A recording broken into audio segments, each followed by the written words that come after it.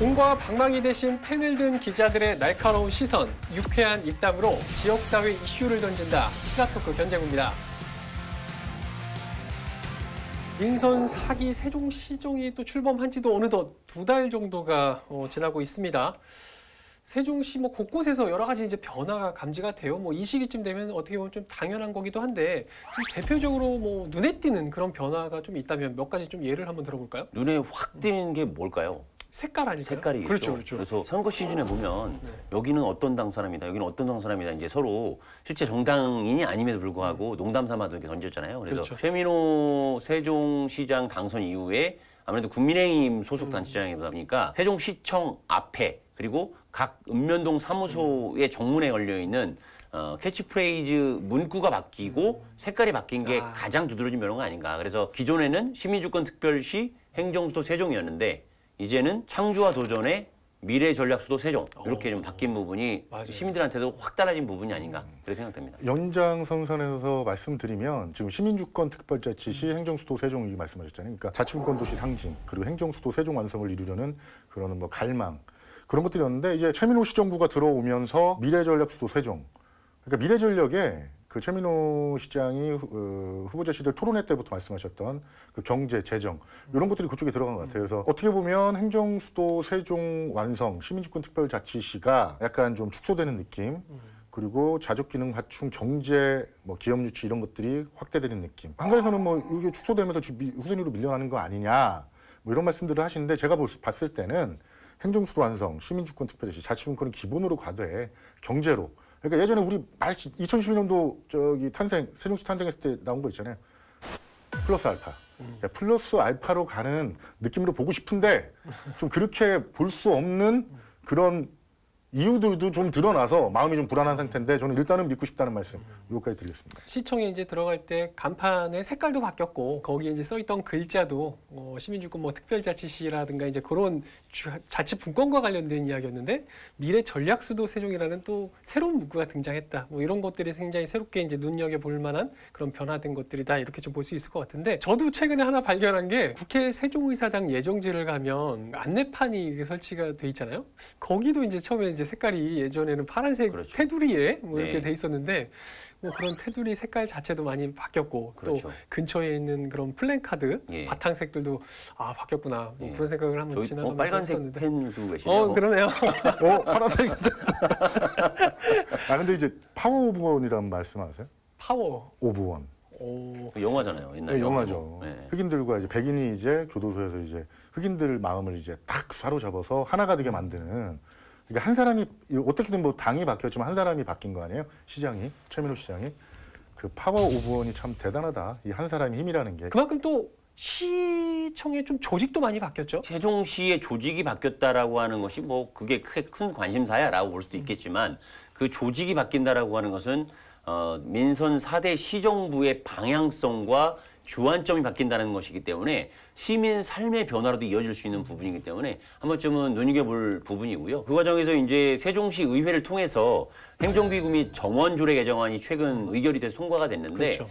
어, 이렇게 보시면 될 것 같습니다. 지금 세종시청의 어떤 공직자들의 아, 수를 보면 어, 일반직 공무원들이 약 한 1,900여 명 정도 된다고 보면 될 것 같고 소방직 공무원이 한 500여 명 돼서 총 2,512명 조직이다. 이렇게 좀 일단은 어, 현재 상태에서는 예, 예. 보시면 될 텐데 거기서 이제 핵심적인 변화는 물론 이제 이전 정부에서도 시도했던 정무부 시장이 경제부 시장으로 갔던 그 체제가 다시 유턴을 해서 경제부 시장 체제로 바뀌었고 경제부 시장 체제 아래에 경제부 시장이 직접적으로 챙겨서 어, 컨트롤 타워 역할을 하겠다라고 하는 부서가 경제산업국하고 미래전략본부가 새로 어, 신설이 돼서 뭐 예를 들면 이런 겁니다. 뭐 경제자유 특구라든지 뭐 대통령 공약이라든지 그다음에 교육 특구, 항공부대 이전 그리고 각종 세종시가 자족 성장을 위해서 필요한 기반을 조성하는 핵심 부서 역할로서 이제 부각이 되고 있다라고 보면 될 것 같고요. 그래서 미래전략본부가 어, 어떤 식의 정책으로 세종시의 변화를 어, 끌어갈지를 시민 여러분께서 어, 눈여겨 보시면 좋을 것 같고 뭐 기타 외에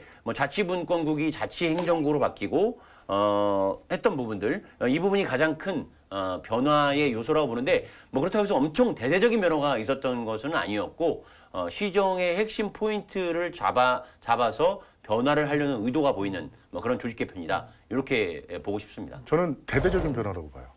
요 상당한 의미가 있어요. 일단은 미래전략본부가 생기면서 자치분권이라는 단어는 싹 사라져버렸어요. 그러니까 지금 생각나는 게 전략기획과 미래수도 기반조성과 보세요. 행정수도란 말 없어졌잖아요. 미래수도란 말이에요. 그리고 지역균형 발전과 지능형 도시가 보세요. 스마트 도시가 없어졌어요. 그러니까 눈에 딱 보이는 것들은 정책이나 정책 방향에 대해서 어떤 큰 대대적인 어, 변화가 있을 것이다를 예고하고 있고 지금 자체적으로 어, 세종시가 흘러가는 방향 자체도 손해를 해서 가고 있다는 건 분명히 보이는 거기 때문에 저는 대대적인 조직 변화로 보고 있거든요. 그래서 오늘은 그 민선 사기 세종시정 들어서 새 옷 갈아입는 세종시라는 주제로 어, 이전 시정부와 궤를 달리하고 있는 정책들이 좀 무엇이 있는지 한번 짚어볼 예정인데요. 그럼 지금부터 본격적으로 이야기 나눠보도록 하겠습니다. 국토 균형 발전의 중심, 국정 운영의 중심으로 만들겠다라고는 의지의 표현과 함께 실질적인 조치들이 가해져야 일단은 시장이 바뀌면 정책도 바뀌는 건 맞아요. 그거는 뭐 시장 권한이에요. 근데 저 하나 아쉬웠던 게 왜 바뀌게 됐는지. 그리고 KTX 열차를 정차시키도록 하겠다.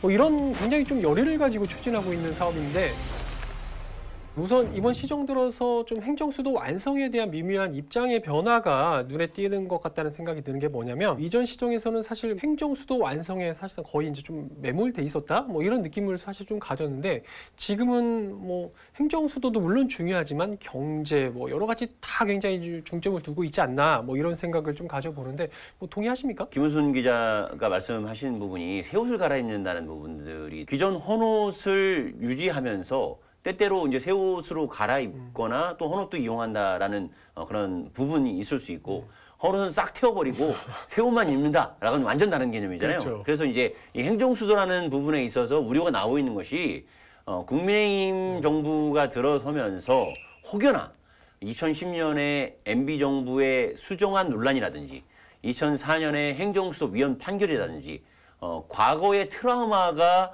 어, 다시 2022년에 어, 떠오르고 있는 분들이 좀 있, 거든요. 그래서 행정 수도를 아예 지워버리고 어, 또 다른 제2의 수정안이 되는 거 아니냐라는 좀 우려를 아, 나타내는 부분이 사실은 있는 건 사실이에요.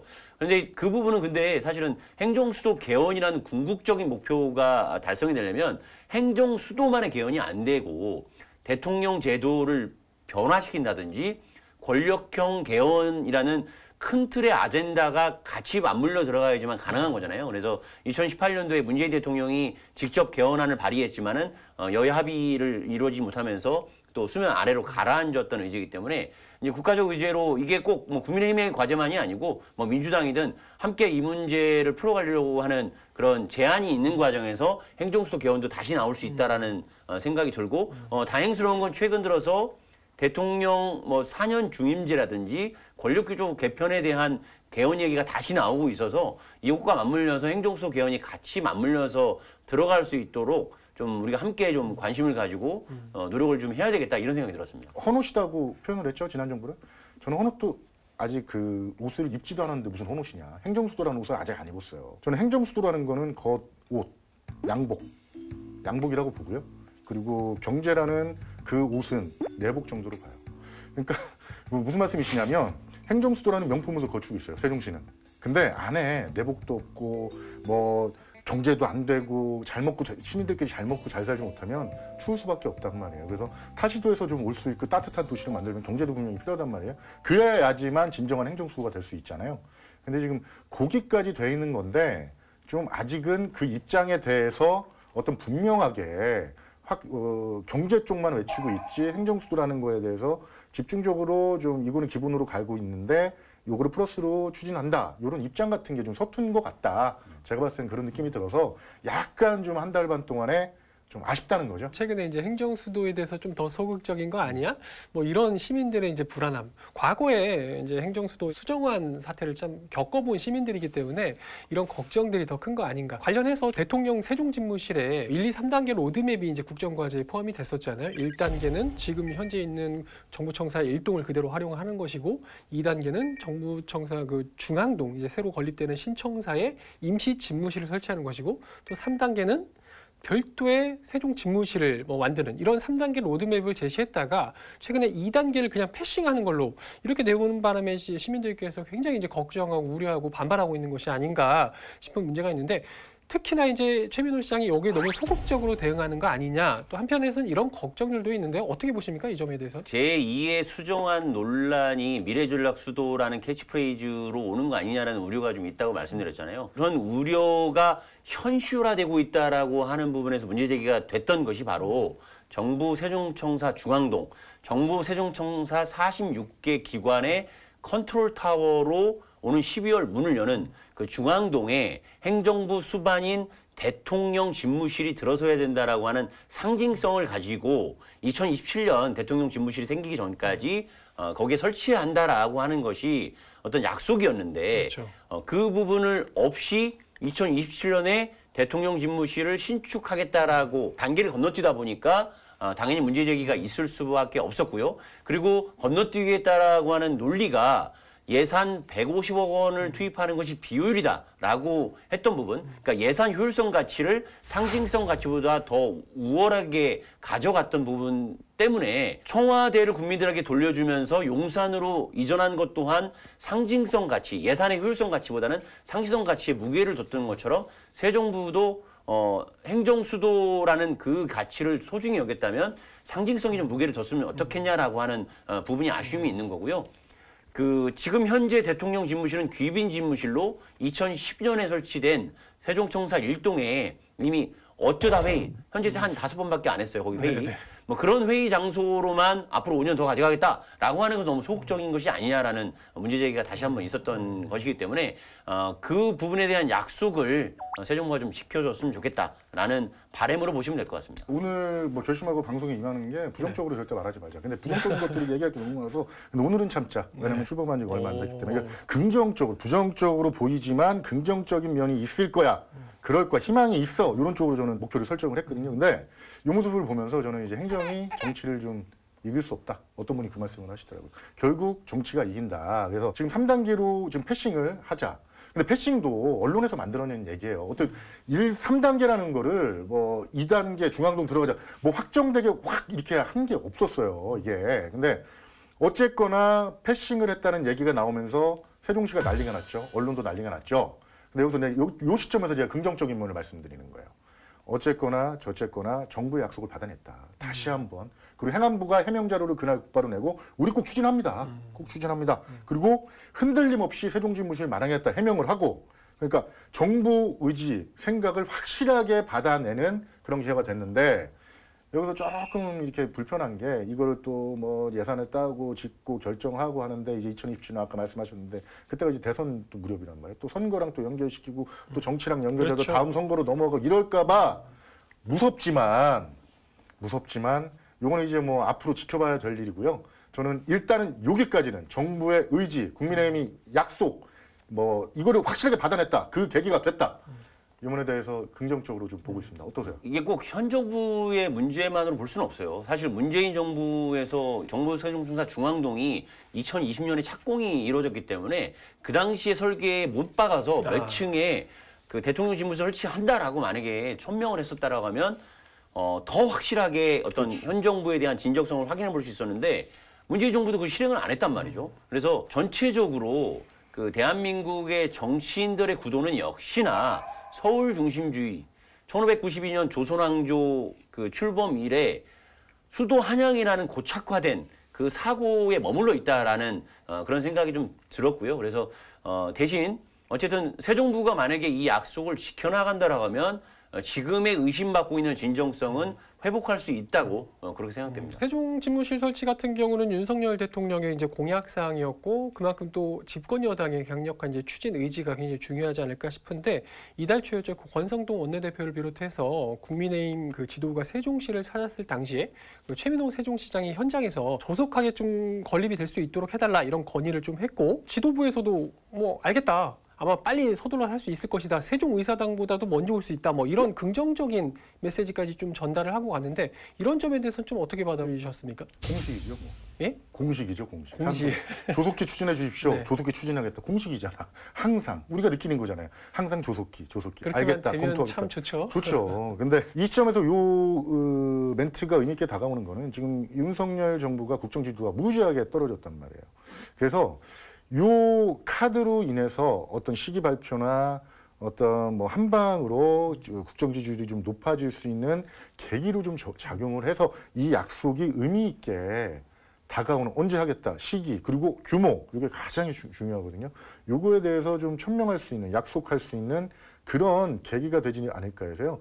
이때의 어, 상투적인 말투, 대사, 원론적인 말들은 아주 의미 있게 생각해서 저희가 무기로 활용해야죠. 계속 뻔한 네. 공식이었지만 충분히 세종시에서는 무기로 활용할 수 있는 그런 발언들이었다. 최민우 시장이 무기로 활용해야죠. 네. 결국 제일 중요한 건 그 국민들의 시선이 어, 대한민국 인구, 인구의 절반을 넘어선 수도권만을 향하는 것이 아니라 지방으로 눈을 돌릴 수 있도록 하자라고 하는 것이 국가 균형 발전을 해서 지방을 살리자고 하는 것이 세종시 건설의 어, 기본 토대이기 때문에 그냥 막연하게 대통령 집무실만 2027년 이전에 대통령 집무실 신축할게 집무실 할 수 있어요. 건축물 1년이면 다 짓잖아요. 그렇죠. 솔직히. 그거 어려운 거 아니에요. 근데 그게 중요한 게 아니라 수도에 머물고 있는 시선을 세종시로 옮겨와서 대한민국의 국토 균형 발전의 중심, 국정 운영의 중심으로 만들겠다라고 하는 의지의 표현과 함께 실질적인 조치들이 가해져야 되는 거거든요. 자, 그런 부분들을 원희룡 교- 국토부 장관하고 이상민 행정안전부 장관, 그다음 이상래 행복청장 3개 기관이 협의를 해서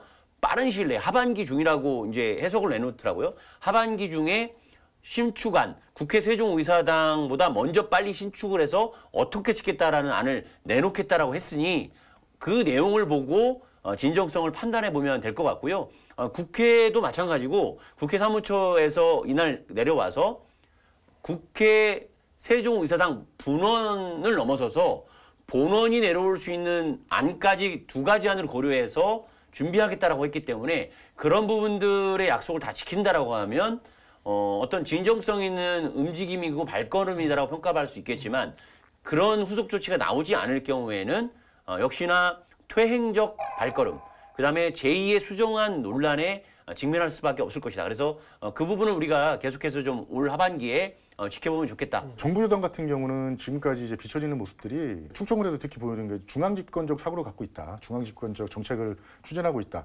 그러니까 시민들이 바라볼 때 중앙집권적이야 정부 여당이 이런 것들을 생각들을 버리게 하려면 세종시를 충분히 활용할 수 있다. 그래서 집무실이나 이런 것들을 좀 공을 들이는 모습을 보여야지만 그런 것들을 좀 탈피할 수 있다는 말을 좀 꼭 좀 드리고 싶습니다. 한 가지 좀 첨언해야 되는데요. 정부 세종청사 중앙동에 못 들어온 이유를 이렇게 해석하는 사람도 있습니다.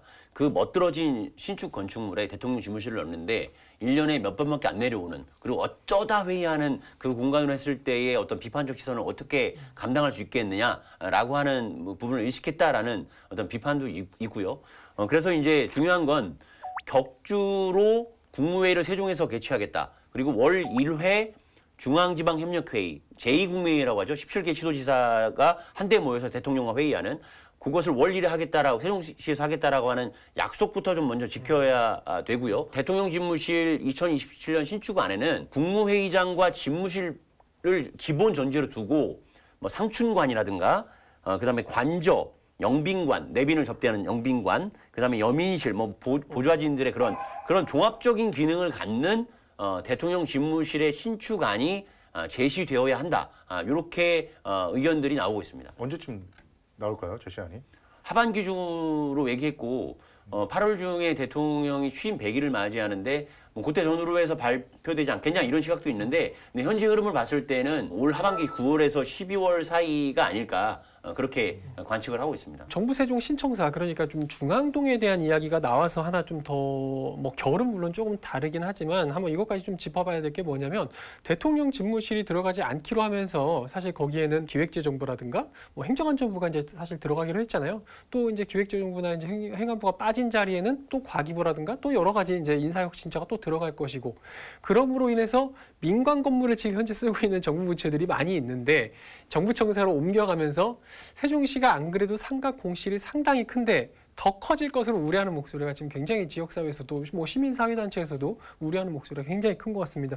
어떻게 봐야 될까요? 이런 점들은. 정부 세종청사 기관들이 국가의 어떤 세금을 토대로 민간 건물에 새빵살이를 하고 있는 모습은 별로 좋은 모습이 아니기 때문에 그리고 또 어, 지난 2016년부터 시작해서 지금 새빵살이가 6년 가까이 된 기관들도 있었고 그래서 공공기관으로 들어와야 되는 것은 맞는 것이고 그만큼의 또 세종시의 공시를 해소하는 역할을 해줬기 때문에 기다림의 시간도 좀 가졌거든요.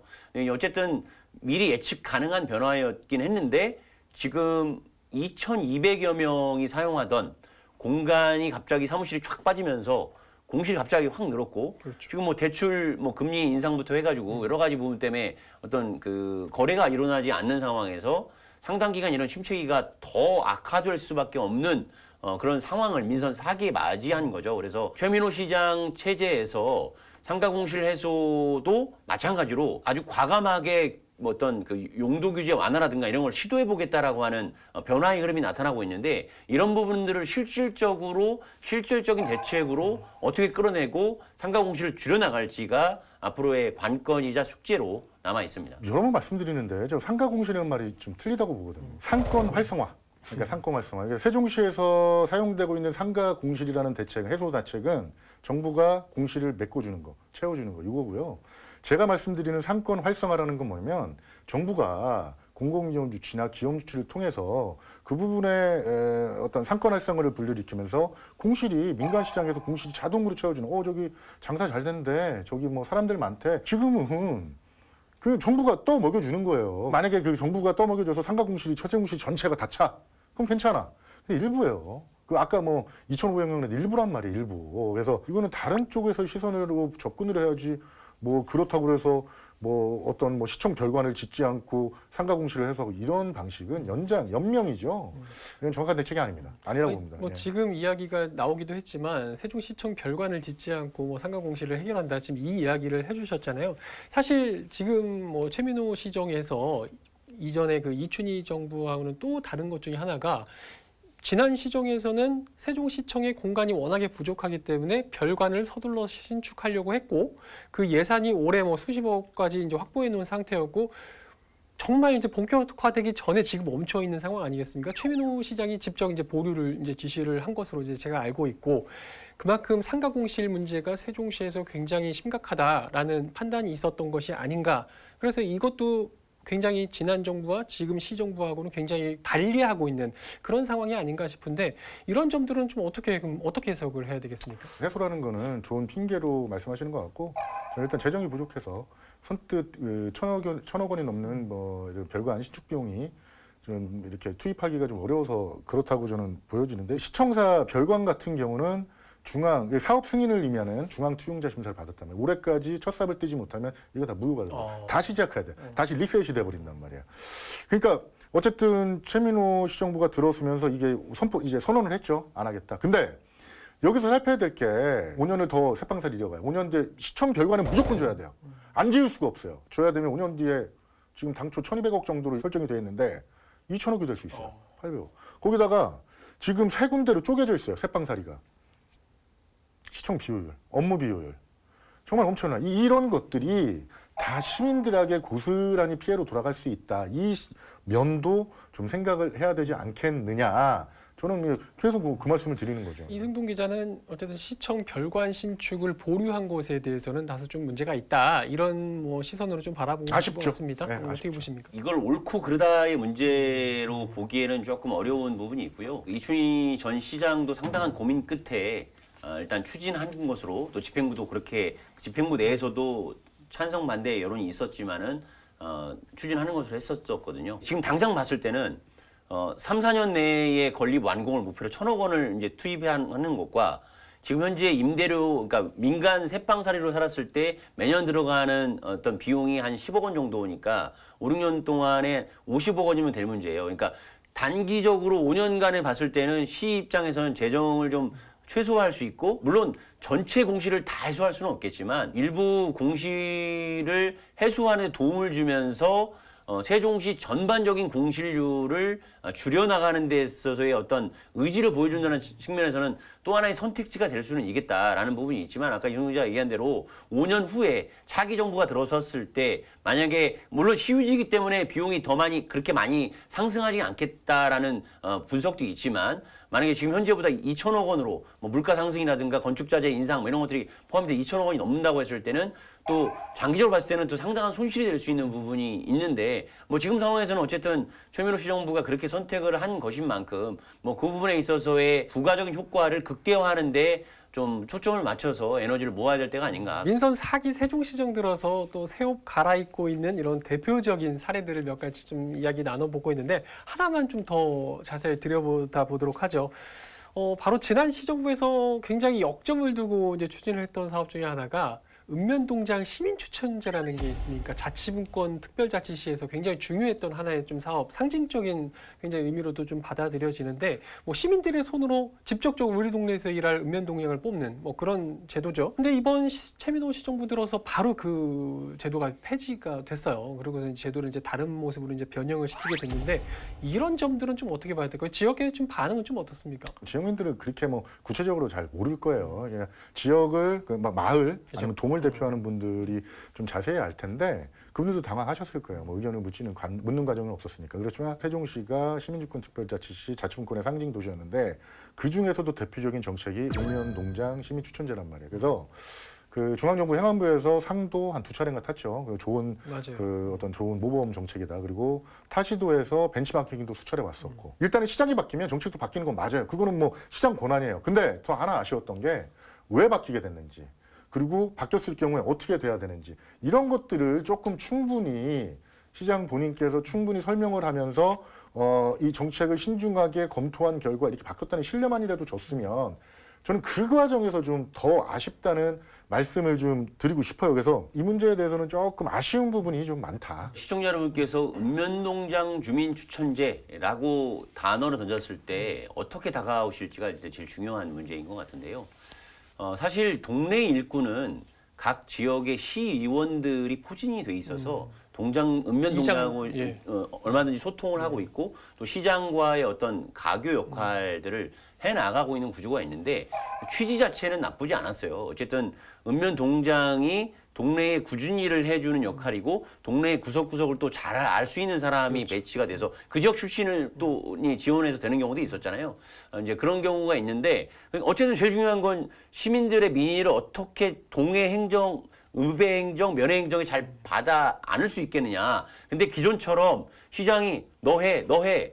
당신이 좋겠어. 이렇게 해서 찍어내리고, 그 다음에 뭐 예를 들어서 정말 본질적으로 들어가서는 다음 선거를 준비하기 위한 어떤 토대를 구축하기 위한 읍면동장을 어, 인사안이 좀 뭐 부작용이 있었다라고 볼 수는 있겠지만, 근데 결과론적으로 봤을 때는 이건 양비론이 아니라 찬성하는 측이나 반대하는 측이나 충분한 명분이나 충분한 논거 이게 왜 필요하고 이게 왜 불필요한지에 대해서 설명이 너무 부족해가지고 세종시 38만 세종 시민의 민의가 여러 가지로 찬반 양론이 갈릴 수도 있고 의견이 다를 수 있는데 이걸 어떻게 제대로 받아 안아서 의사결정을 보다 합리적으로 할 수 있는 시스템을 만드는 게 중요한 것인데 어, 읍면동장 주민추천제가 과연 그런 제도인가에 대해서는 한 번쯤 생각해 볼 문제가 있어서 저는 지금 뭐 이것이 옳다 그라 판단하기가 조금 어려워요. 왜냐하면 양쪽 다 설명이 부족하기 때문에 그래서 어쨌든 지금 제도는 어쨌든 내부 공모 심사제로 바뀌었고 뭐 지원을 받아가지고 어, 심사를 해서 인사를 하는 안으로 바뀌었기 때문에 이 제도를 한번 또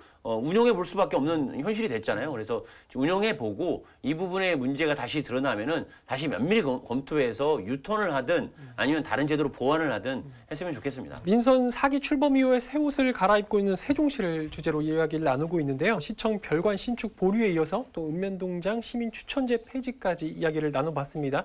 또 어떤 것들이 있는지 어, 계속해서 이야기 나눠보도록 하겠습니다.